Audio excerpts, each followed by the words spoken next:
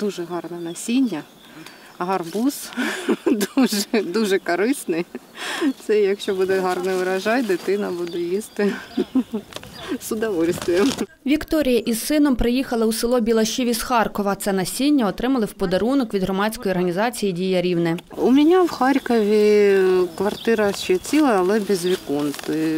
Поки не закінчиться війна, поки не поставимо вікна, тобто повертатись мені поки нікуди, скажімо так. Тому, звісно, поки не закінчиться війна, тут спокійно, дуже добрі люди, дуже нам допомогли і поселили, і як родних. Тепер ми посадимо і будемо дуже пригощати. Цей пакунок з насінням отримали дві родини, де мешкають люди, що виїхали із зони бойових дій.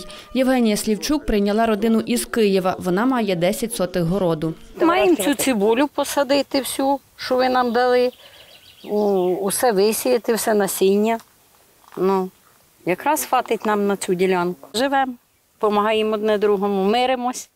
Ну, і все в нас добре. Засіємо город, будемо збирати врожай. Насіємо і хватить нам. Ну, дякую, що дали. Федір Войтенко на початку війни привіз сюди свою родину з Києва. Зараз волонтерить, розвозить гуманітарні вантажі по всій країні. Сюди попав случайно, дуже цьому рад. Дуже гарне село, дуже гарні люди. Господиня наша дуже гарна. Ми живемо вже як родина. От. Посіяли городину. Я думаю, що не буде голод, а ще якщо буде більше, то будемо допомагати, будемо передавати нужденним людям. Село Білашів входить до Мізоцької громади. Як розповів селищний голова Богдан Похилюк, у Мізочі та навколишніх селах розселилися орієнтовно тисяча людей, які виїхали із зони бойових дій. Біля кожного житлового будинка є відповідна площа. У нас в населенні пункті по населених пунктах є до 25 сотих, у селищах до 15 сотих. Тобто землі вистачає. Є земля, яка ще пустує на сьогоднішній день. Тобто вся ця земля буде задіяна для того, щоб зробити посадку. Цей набір розрахований на приблизно 5 сотих землі, каже співорганізатор проєкту Микола Смолінський. Його вартість орієнтовно 1300 гривень. такий класичний літньо-осінній набір насінневий.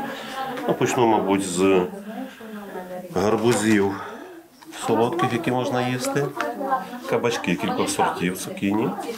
І те, що є, це ще у нас є огірочки, теж кількох сортів, і корнішони, і на консервування, і на те, щоб з'їсти їх свіжими. Крім цього, в наборі морква, цибуля, буряки, зелень та інше, а також засоби захисту для рослин. Отримали насіння у Мізоцькій громаді 70 родин. Коли ми спілкувалися з представниками громад, з представниками тих родин ВПО, то побачили потребу в зайнятості людей. Люди хочуть зайняти чимось руки, голову, шукають собі робочі місця. А разом з тим ми розуміємо, що продукти не дешевшують з кожним днем. Ми розуміємо, що вирощене своїми руками це завжди краще. І з'явилася ідея написати проект, в рамках якого ми можемо ну так звано надати не рибу, а надати вудку, якою можна рибки наловити. За словами ініціаторки проєкту Ольги Горкавчук, його організувала Асоціація жінок України Дія Рівне за фінансової підтримки Українського жіночого фонду. Всього зібрали 210 пакунків з насінням. Крім Мізоцької, їх роздали також у Смиській та Повчанській громадах. Оксана Туз, Роман Шикунець. Новини на Суспільному.